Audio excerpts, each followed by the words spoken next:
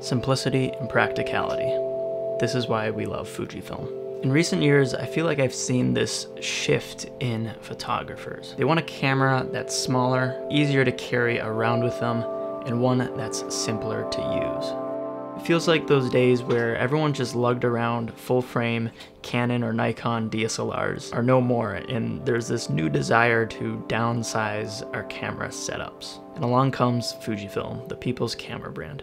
There really is no other company right now that's making a variety of affordable small form factor mirrorless cameras that operate like film cameras and are just simple and fun to use. I've mentioned this before on the channel, but these cameras here when I look at them, they, they make me want to make photos. Not a lot of cameras can do that, but when you have a camera that's this easy to just carry with you everywhere you go, this might sound weird, but it makes the act of making photos feel that much more possible, if that makes any sense. So maybe you're already part of the Fujifilm family, or you just recently joined. So in today's video, I'm gonna be sharing a few tips that I've learned um, after shooting with Fujifilm cameras that sort of helped me make the most out of these cameras.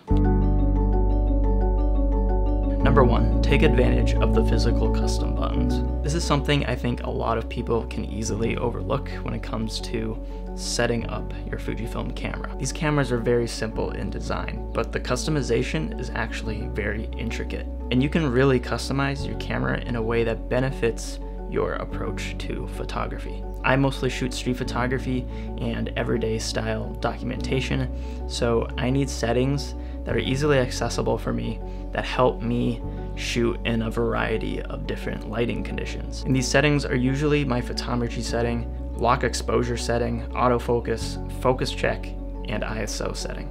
They're all exposure and autofocus related and that's because those are the settings I use every single time I'm making photos. So when it comes to the physical custom buttons, I make it a point to always set them to something that I use every single time I shoot. The less barriers I can have between me getting the photograph, the better. If I need to adjust how my camera exposes for a particular scene, I'll switch my metering mode to either spot or multimetering using the photometry setting that I've programmed right next to my shutter.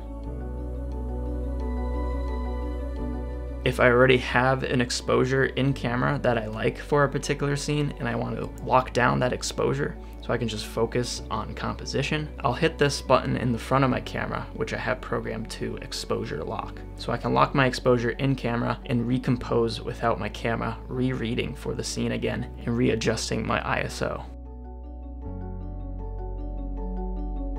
I use back button focusing, so I've disabled that function off my shutter and I've programmed it to this back button so that my camera will only focus when I want it to. And if I want to double check that exposure or maybe make minor adjustments to it, I use focus checking to get a much detailed look. And then I'll manually use the focus wheel on my lens to make those minor adjustments. Make sure AF plus MF is enabled so you can do this. The bottom line here is think of all the settings you use every single time you shoot and make those the most accessible on your camera. That would be the physical buttons that you can program. Reduce the artifacting in your photos to get the best possible image you can in Adobe Lightroom. If you edit your Fujifilm photos in Lightroom like I do, you've probably been yelled at by some of your Fujifilm peers to use an editing software like Capture One. But they do raise a good point. For whatever reason, Adobe Lightroom just doesn't process uh, the Fujifilm X-Trans sensor properly. And that results in this artifacting you see in the image that looks like worms. You can actually quickly get rid of this in Lightroom just by right-clicking your photo and clicking Enhance. You'll get this pop-up window asking you two options, raw details and super resolution. You don't have to worry about super resolution being checked. That's just going to give a much higher resolution version of your photo. You wanna make sure raw details is checked, and this will help remove that worm artifacting. Once you click enhance, Lightroom's going to start working on an enhanced DNG file, and that's going to have less artifacting. Obviously, you're not gonna see a huge difference if you're just posting these photos onto something like Instagram, but you know, if you're making prints of your own work or if you're you know posting high resolution images on your portfolio or website, I don't see why you wouldn't want to have that reassurance you're using the best quality image you possibly could have. If you're not stubborn like me and you're more open to using a new editing software, definitely give Capture One a try. You can actually change the size of your focus area point. I'm sharing this tip in this video because this is something I did not know about for a very long time, and it's partly because it's a bit of a hidden feature in Fujifilm cameras. When you're in the focus selection window, you can actually change the size of this focus point by simply moving left or right on one of your function dials. Now this is really nice to have, especially if you use spot metering a lot like I do, because this point is also the point in which your camera is judging for exposure. So with the smallest sized focus point, I can actually have a much easier time determining where my camera is reading for the exposure in the scene. While we're on this topic of the focus lever, you should definitely consider disabling it after you've picked a good size focus point. Every time I'm shooting, I always accidentally hit this focus lever.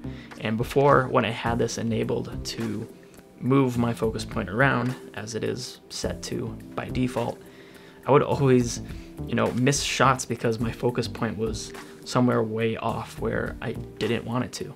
So now I just stick to a center point focusing and I've disabled the focus lever. Know the benefits of shooting in both JPEG and RAW.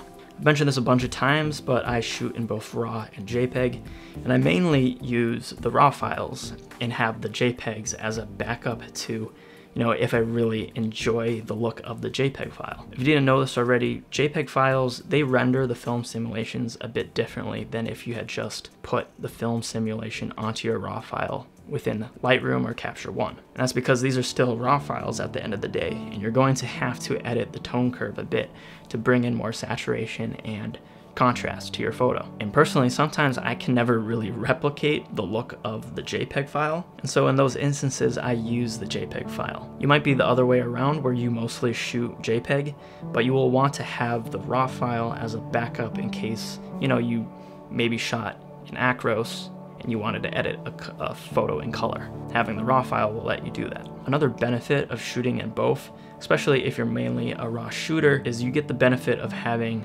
the JPEGs serve as thumbnails when you're importing. I use a Windows system and for whatever reason, I don't know if it's different on Mac, but I don't see any image previews for any of my RAW files when I'm importing. But since I also shoot in JPEG, they serve as these thumbnails, so it's definitely helpful when I'm doing selective importing. Lastly, don't underestimate the P mode or other auto modes. Now on the channel, I've always been an advocate for manual or shooting in manual.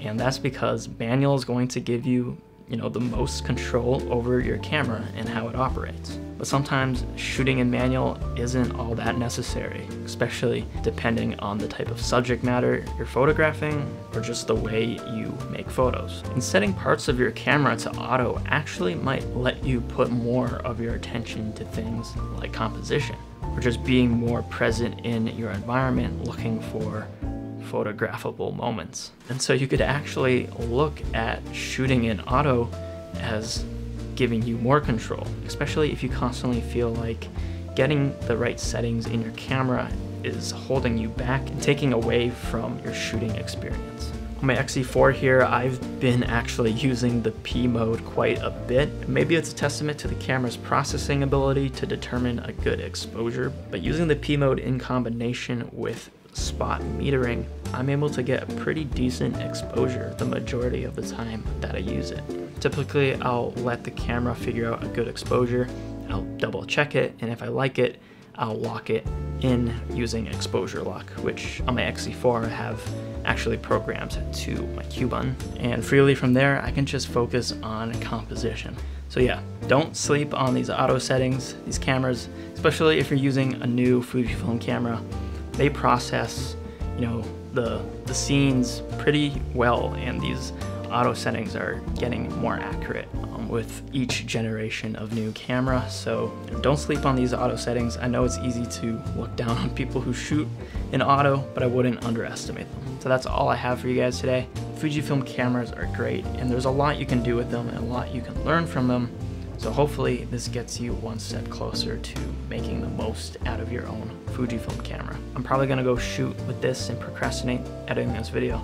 So, as always, thank you guys so much for watching and supporting the channel. If you learned something in this video, be sure to hit the like button and comment any questions you might have. I'll try my best to get to all of you. Love you guys. See ya.